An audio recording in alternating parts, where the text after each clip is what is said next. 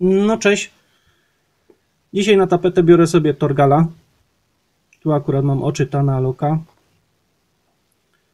Jest to wydanie z...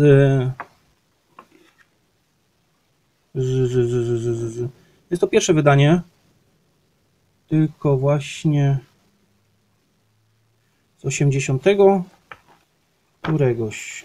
Teraz z 80 którego to jest wydanie. Wydanie pierwsze z 89 roku.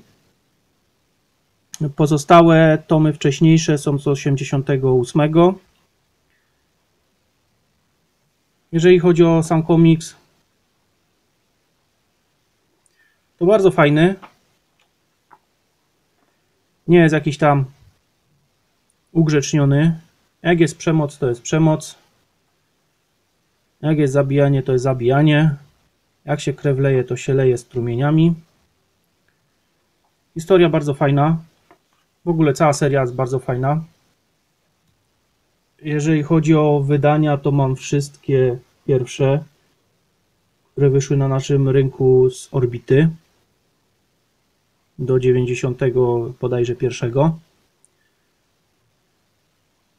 Aktualnie wznowiona, wydawana Chociaż do końca nie wiem, czy jest nadal wydawana, czy już jest wydana w całości. Idzie ją kupić. W dzisiejszych czasach jest w dwóch wersjach. W miękkiej okładce i w twardej okładce. Widziałem obie. Na pewno uzupełnię sobie te tomy, których nie mam, które były później wydane. Które nie były dokupowane. Komiks na pewno polecam dla starszego czytelnika. Myślę, że naście lat to jest dobry czas na taki komiks. Na pewno historia bardzo ciekawa, wciągająca. No i biegnąca przez kolejne tomy. Czasem jest tam jakaś historia poboczna ukazana, ale całość trzymie się kupy. Jest wartą historią naszego tytułowego Torgala. Jeżeli chodzi o samą kreskę, to bardzo mi się podobała zawsze. Była taka realistyczna. Bardzo. Więc naprawdę.